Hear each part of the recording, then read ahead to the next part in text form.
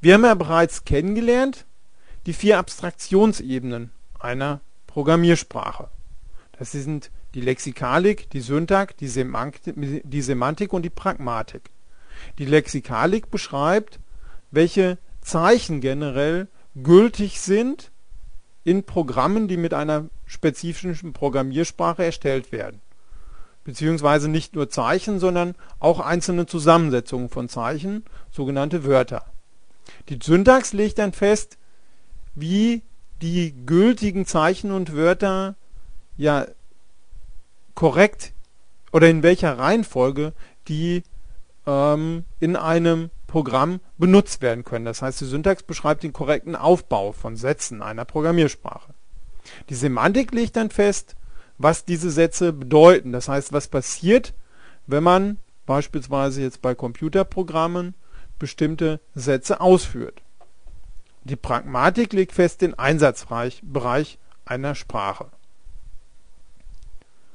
Auf diesen Abstraktionsebenen aufbauend arbeiten Compiler.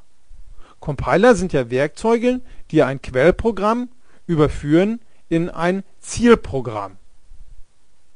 Und Compiler bestehen aus mehreren Komponenten, wie beispielsweise einem Scanner, einem Parser und einem Teil für die Codegenerierung.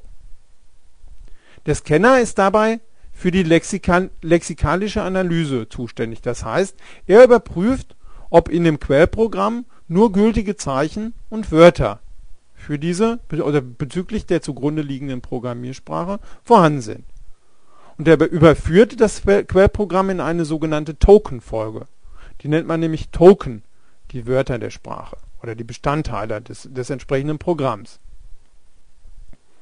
Diese Tokenfolge wird dann dem Parser zukommen gelassen und der Parser überprüft die syntaktische Korrektheit des Programms. Dazu wird die Tokenfolge in einen Ableitungsbaum überführt. Die dritte Komponente ist dann die Codegenerierungskomponente, die auf der Grundlage dieses Ableitungsbaums dann dann Code generiert. Das heißt, hier wird eine semantische Analyse durchgeführt.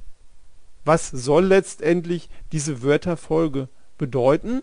Und aufgrund der semantischen Analyse kann dann Code generiert werden. Und letztendlich wird dann ein Zielprogramm generiert, das im Allgemeinen ausführbar ist